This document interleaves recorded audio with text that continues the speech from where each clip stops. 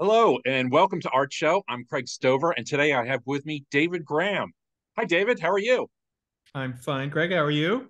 Very good. So, I wanted to just start out real quick for our audience, and I wanted to share some photos of yours so they have a good idea of the kind of things that you do. And I, I selected photos on the web, and I, uh, of course, had to choose this one right away.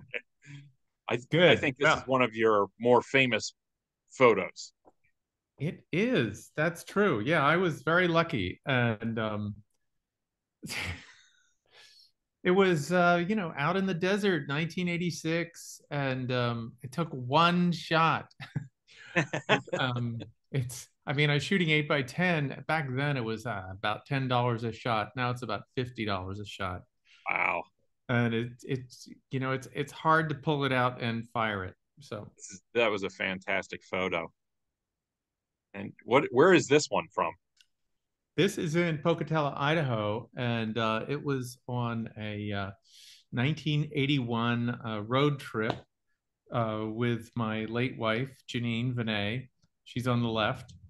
And this uh, it's you know we were driving on the way back from california and I just saw I saw that pickup truck in the back that said "Happy Birthday," and then mm-hmm. wound up schmoozing with the people that owned the motel. And the uh, the wife was really awkward, so I put her in the background, and, and the husband was just like right out of Central Casting, uh-huh. so I put him up front. And then uh, Janine was doing her best Edith Gowan look. Do you so, pose them, or did it was this just what they chose? It's uh, usually I pose them. Hmm. Interesting. So, I like the composition of that. Good. This one is just a stunner. I thought this was just fantastic. It's, uh, it's yeah, morbid but funny. Those of you who aren't looking closely, uh, the this um, headstone says "Gone Home" on the front door, and I thought, "Wow, that's great." This was cheating a little bit. God, you're just catching me, Craig. Um, I was doing a, a, an artist in residence at uh, RISD, Rhode Island School of Design, and one of the students had a picture of that headstone, and I just said, "Where is it? I got to get there." so well, my picture was much different than that student, so that that was okay. And uh, this one, I just love how all the, uh, the different layers in the in the photo it just right. it's just fantastic. well, you it, know, as I said, I was uh, was and I still do shoot with the eight by ten camera, and I you just try and get as much into the negative as you can.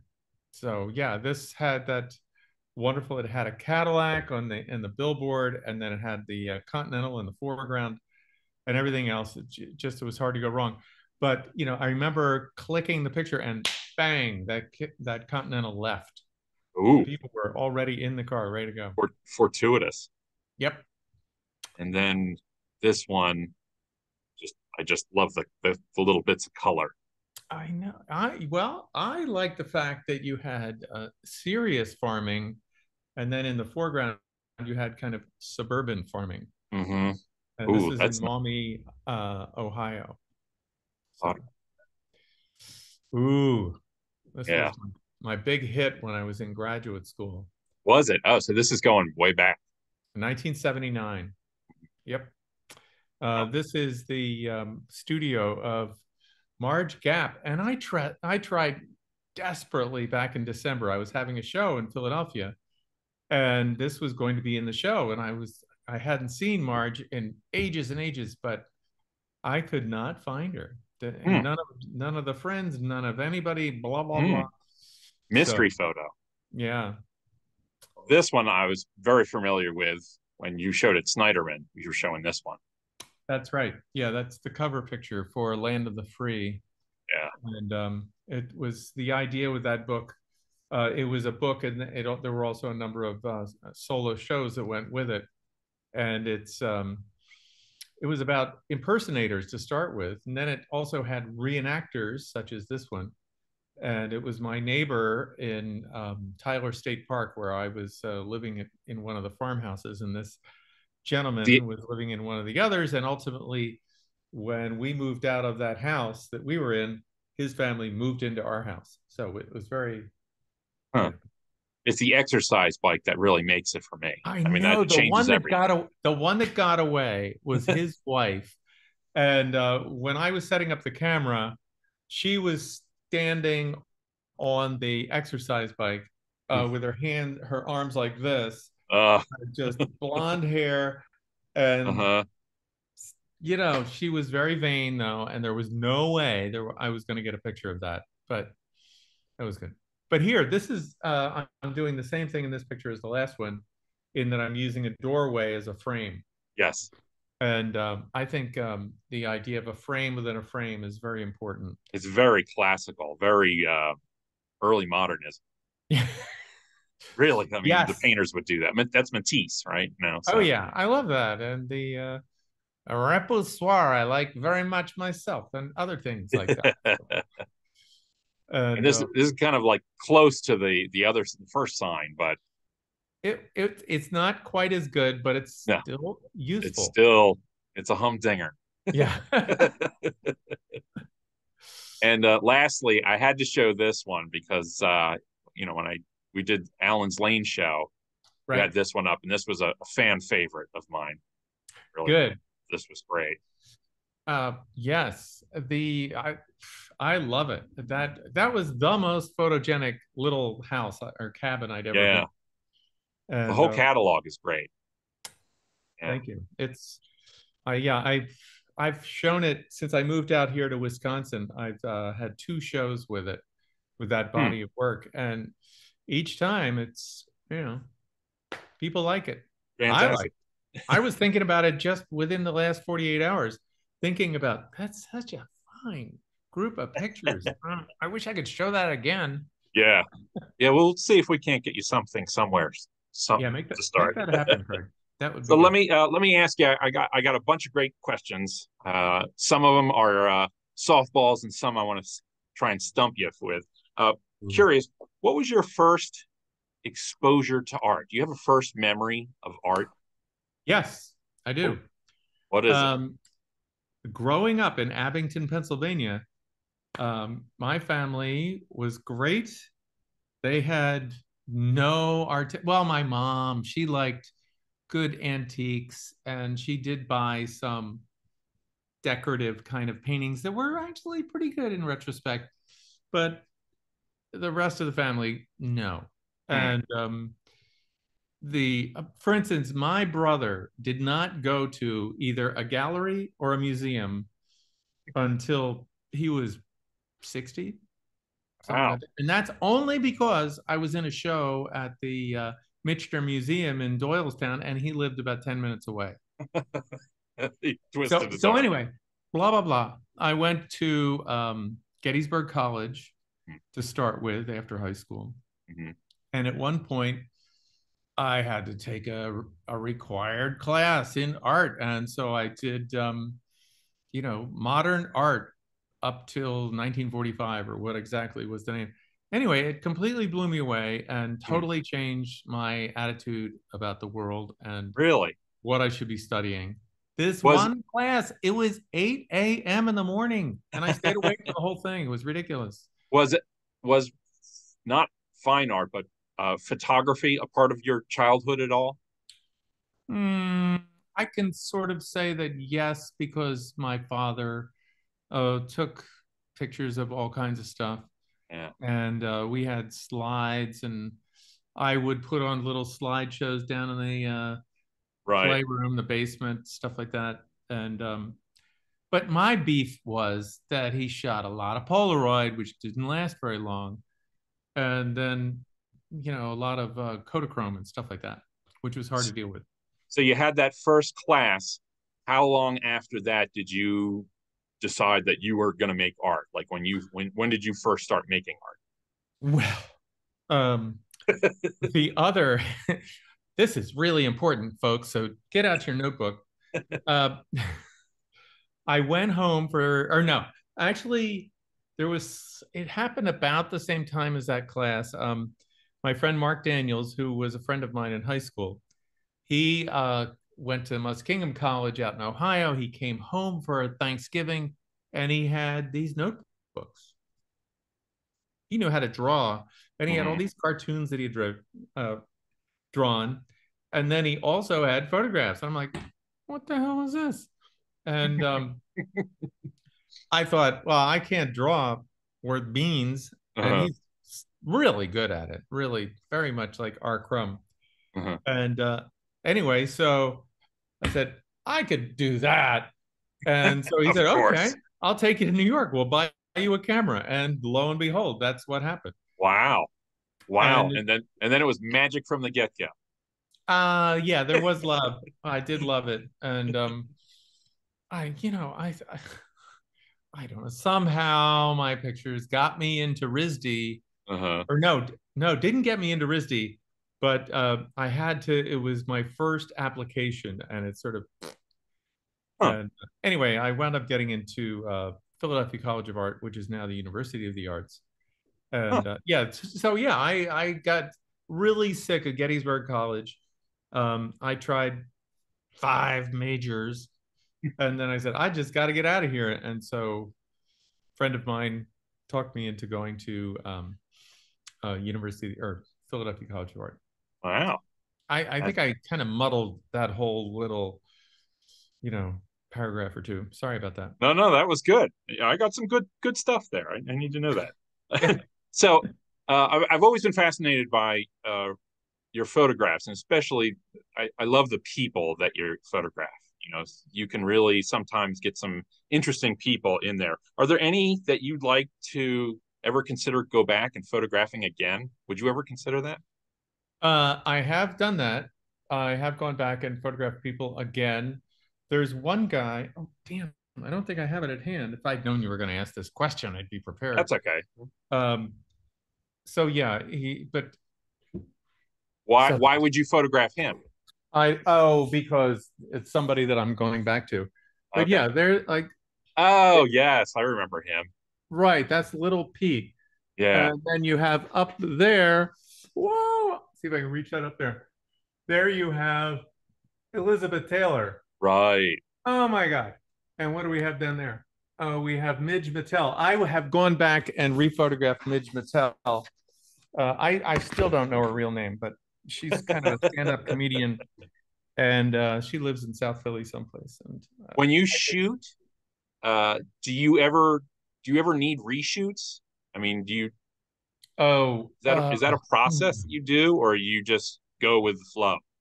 Well, um, let me tell you what happened. Uh, so eventually, um, oh, there was a whole big, you know, I taught at, you know, okay, brief history. okay. Um, went to Philadelphia College of Art. Yep. They forgot to teach me how to make a living. Mm-hmm. Uh, so yep. I, I graduated, and what did I do? I waited on tables. I bartended, mm-hmm. and then um, somehow I got into Tyler, mm-hmm. Tyler School of Art, and got my master's degree. And that led me to. And why do you do that? Because if you have a degree, a college degree, and a master's degree, you can mm-hmm. actually teach in college, which means yep. three days a week, right? Eight months a year, right? so anyway, so what happened was at um, uh, I think it was 1999 or something like that, or no, uh, 1990. I got stabbed in the back at Moore College of Art where I was teaching, mm. and I just quit teaching. The yeah. hell with it. Yeah. And there is a. I've heard those stories before. What? I've heard yeah. those kind of stories before. Yeah. Yeah, it's nasty shit. And um, so I decided I had to make a living, and all of a sudden, you know, there were no teaching jobs around. So I started. I put my art photography into portfolios, and in fact, I can see one over there there's I, I haven't needed in a long, long time. Mm. But I took my pictures, such as whatever, mm. and uh, I turned them into a portfolio. Three, and I had three portfolios, and I would schlep them around through in New York to all the different uh, magazines. Mm. And um, so I started getting jobs. And nice. because one, I was in Philadelphia, a major metropolis. So there were often a magazine would need some important person to be photographed, and I would go do it. Yeah. And or uh, somebody would like my pictures and they'd say, okay, why don't you go to Mason, Texas Hmm. and photograph these people out there? It's like, oh my God. so I had to learn how to do that. And at the time, it was not digital yet. I Yeah. would I, I had to learn how to use Polaroids and use learn how to use strobes and lights Right. and all that stuff. So you would because you usually didn't have a chance to go back. The answer to your question is do you ever go re-photograph people and you just you, you couldn't allow yourself that luxury yeah. because you had to do it as a job Well, you actually kind of pre-answered my next question because I my my question was how do you go about finding your subjects? And I guess that probably prepared you in a way to go out and find people for your photographs. Yes uh they um well sometimes you'd get a, an art director who would give you a job because it was right up your alley or my Mhm. alley in the case may be and so you know uh elvis uh, uh conventions elvis impersonator conventions hey Mhm. well i was doing impersonators Right. boom Perfect. away i went and i would get a job for that or this and you know it was a wonderful thing and then i would just sort of then i would start doing a little research. Oh, Right. i'm doing that the way we do it now. It We wasn't a weren't doing phone it. book. we weren't doing it that way. I would just tell everybody that i knew. It's like hey you know i'm doing these impersonators. Do you know anybody like that? Yeah. Uh, like the guy uh, the uh, soldier you know the gr- grenadier uh hessian soldier. Um you know he was a neighbor Right. I, you know, he he told me he did that. And it's like, okay, cool. I'll come over to your house. And um and other people, the Mummers Parade, I would go every year. right. And there were lots of impersonators in every um uh, Mummers Parade in Philadelphia. And So uh it seems like you work in series, but it also seems like you work on multiple series at the same time. Is that I did work on a number of series. Um and I mean there's some evidence like right there Mhm. and right there. Mhm. And uh where else? Right there. these, these are black and white ones Just zoom in, everyone. remind Right. myself that I don't always need to do color. So um well? yeah, there, uh, are, there are a number of things, but I I go ahead, ask me what am I doing now as a project? uh, sure. What are you doing now? Well, I re- relatively recently moved from Philadelphia, where I had been for my entire life, and except for that little zit of Gettysburg College, know, Mhm. except for that, um, because the rest of the time I've been in Philadelphia. Anyway, um, my lovely wife, uh, Terry Warpinski, uh, and I weren't married yet, and uh, we started. mm, it was during COVID. You know, we we would talk to each other. We would do FaceTime. We would do Zooming. We would do all kinds of stuff. We would watch movies simultaneously. She's out here in Wisconsin. I was in Philadelphia, and we go one, two, three, and we'd watch movies and stuff like that. Anyway, so I came out here. I got stuck to it and her, and it was wonderful. And so my current project is photographing Wisconsin. oh wow. I don't know. Well, I'm So, curious. I mean, it, it, it's a lot of it is kind of the the landscape and where the landscape and the uh, humans meet. That's, that's kind of Interesting. what I'm doing. oh, right I can't wait to see what you you're gonna. I can't wait for the next book. Really, that's what Ah, it'll. Good it'll man. have to be. So, so you've been photographing for a while, and I know you have different series. But how do you feel that your work, most artists' work, changes over time? Yeah. Uh, how do you do? You feel that your work has changed over time, or if so, how? Um, it has mm, parts of you know this this photographing of Wisconsin is remarkably similar. I mean, the way that I'm assembling the pictures hmm um, is very similar to what I was doing uh, back when I got out of graduate school and you know was shooting the eight by ten camera. There's a way, you know, because as I said, okay, it was ten dollars a shot back then, and now it's fifty dollars a shot. So you, you're careful. You're Yeah. really careful, and you assemble it, and you're using color, and you have incredible definition of the subject.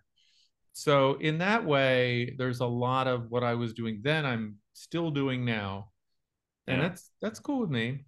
It sounds like you. Yes, I have done a lot of other little projects. Some are more evolved than others. So It sounds like you've been able to streamline the process though over over time. You know what you're you're doing when you walk up to to an image. yes, uh, yes, and um, you know, also yes. Also now I carry with me. For instance, today I had to run some errands and. I had with me, and it was, you know, whenever I'm in the car, I make sure that I have this big eight by 10 case, which Mhm. is what all I used to carry. But now I also have a backpack that's got, you know, two smallish digi- digital cameras Mhm. and then one gigantic, unbelievably expensive. um, Hmm, interesting. camera. Yeah. And do you you know because that that ruined my next question, which was you know tell me about the equipment you, you use. So uh, how about printing though? So how do you print? Do you do you print? Do you farm it out? okay, black and white Yeah. I do. I'm on a bit of a hiatus, but I'm hoping to pull together a black and white project that I can take in my mind and in reality um, this coming fall, winter, because uh, Terry and I got artist in residencies in Iceland. Wow. Oh my God. Anyway, so I'm thinking of um, kind of I because I really like doing black and white. And Yeah. I did have I have a lot of projects that I've done over the years. And um, you know, I'm thinking about maybe I'll just do that. I'll do black and white. Like Well- I don't need I'm photographing Wi- Wisconsin. I don't have to worry about Iceland for God's sake. Right. Well, tell tell me what do you what do you think about color though? Color? Yeah. What do you think about it? Like, Hmm. do you think of it in terms of say emotion or contrast or you know what? How do you approach it? Well, there's a certain aspect that I consider anytime I'm taking a picture uh, with color. I'm thinking about what kind what kind of play is there between you know do they vibrate like i took a picture this this afternoon might have been late morning and um it was a lincoln continental you know 1965 or something like that and somebody had really gone berserk and it was this it, this color that somewhere was oh you can't tell how goldish yellow Right. that is but it's kind of like goldish yellow metallic oh my Uh-huh. god i'm like oh what have they done to this car it's kind of fantastic and at the same time and then behind it was a tractor trailer Uh-huh. um that's bright orange Uh-huh. and the two of them together were just Yeah. I've always So felt that you loved color saturation. I do love color saturation, and uh, I do love sometimes, in this case today, they were two very similar yet um, abrasive colors objects. Hmm. But other times, I will just you know move things around. Yeah. You know, like that picture in in Marge Gap's studio. I mean, we went in there and just moved everything around to get Uh-huh. it right. And Figure when out. I was doing, um, have to turn my phone off. The um, uh, yeah, I will go in. You know, I did it a lot for magazines Mhm. because you're kind of taking, doing a portrait of somebody, and part of that portrait is how they live. Yeah. So I've done very few pictures of, you know, somebody black and white hmm against seamless paper in a studio. Right. I just go, think of all that. Okay, Richard Avedon was great, totally awesome, but uh, that's not me. And um, So, So- speaking of Avedon, are there other artists that you like to look at? Uh, uh, are there any that actually inspire you or anything like that? uh, well, you've got Walker Evans Okay. All right. right there. Very That's nice. Walker Evans picture that I got for three dollars and fifty cents from What? the Library of Congress. All right. I'm moving. and then there's Gordon Parks, Okay. you know, He's a big hero of mine. And right. I love his black and white work and I love his color work. It's just, he's a genius, was a genius when he was alive. Do you ever look at other artists who aren't photographers, say like sculptors or craftspeople or anything like that? Yep. Yeah. Yeah, we uh for our second anniversary, uh Terry and I went to uh New York and um we wound up being there longer than we expected and um you know, 5 days of hitting all the museums and all the galleries and you know, I mean you you try to hit like there were two Avedon shows at the time and also a Lee Friedlander show. Black, two black and white photographers loved them to death. We saw both shows twice, Hmm. and um, but then we, you know, went all through uh, MoMA and um, Guggenheim and the Hmm. Met and a whole load of galleries down in Chelsea. You just And so, absorb yeah. it all. Absorb it all, soak it all up. I mean, I do love these things in that you can you know, remind you of what you saw in that gallery. Yeah. Do you ever do you ever go to a, a place and like, oh, I have to come back and photograph that? You do that often? Oh yeah. Oh yeah. Yeah. I do. It's well, you know, I had to hustle back to the studio to do a favor for Terry. And I said, "Oh, okay, I'll come back. So I came back, did the favor, got back in the car, drove up there, and it wasn't there anymore. The picture wasn't there. Um, You must but- that must happen quite a but- bit. But nonetheless, in 1981, uh, dro- was driving across the United States through Indianapolis and over the highway, just thinking, you know, God, got to get past this stuff, get out there where it's west. Hmm. And um, I was looking out the window and going, whoa, I'll have to remember that. It's, you know, exit number, whatever, whatever. And Right. damn it, two years later, I got off at that exit. It was still an incredible backyard. nice. And I found it and I got a great picture out of it. And it's in, you know, it's in important pictures. Yeah. Well, I guess nowadays you can just drop a pin on your phone Yes. I mean, rather than trying idea. to, you know, It's- remember what exit. It's easier now. right. Well, one thing is when I was have done when I was doing um, for instance, Only in America, Mhm, which is not the first book I did, but the second. Mhm. Uh, you know, there were, you know, I sent out postcards to everybody in my Rolodex. Mhm. Please tell me what you see. And um, that's where I got all my tips. I had a big map. You, That's United States fantastic. with Mhm. With pins, and when there got to be a bunch over here, I'd fly out there, and my friend Gene Kennedy would pick me up. Wow. So that's the the official David Graham method. Yeah, a big map. I like it. yeah, big map. Big map with pins is important. So I, I have just one question left for you. It's my stumper question. Um, just because sometimes I ask artists this, and sometimes they get right away, and sometimes they they freeze up. It's a very simple question. What does making art do for you? Oh man, makes me happy, makes me full, makes me Okay. really excited. It's uh it's a great thing. Um Yeah. I mean, I it is different. I mean, it's not like all right, so I'm in a studio right now and there are no windows. hmm It's hard. Um so I love the idea that I can go out and uh, immerse myself in some place, some environment, some amongst some people. And Mhm. uh so I you know, I love doing that. And Little um, food for the soul. food for the soul. Yeah, I would have a hard time, you know, being in, in oh, I've been in some studios that are just so depressing. you know, it's dark, it's got fluorescent Uh-huh. lights and stuff. Right. Yeah. Can't- yeah. Well, you I- I must don't love all the light that you have out in Wisconsin. What's that? You must love the light that you have out there. Uh, when it's nice, Yeah. it's great. it's- But yeah. then nobody told me about, you know, November through April. It's just gray and it's just, ugh. But well, you can always come back and visit us in Philly. We'll be Yeah. glad to have you. Okay, good. I'd be glad to do it. Well, Uh, thank you. Uh, thank you very much for answering that question. And thank you very much for joining me today. I really appreciate it. Thank you for tuning in um, to Art Show. Please make sure to like and subscribe so we can keep doing these artist interviews. We have a lot of fun with them. David, thank you again. It was a pleasure speaking with you, and I can't wait until we see you the next time. My pleasure. Thanks for uh, giving me a call. Yeah, no problem. Thanks a lot, David. Take care.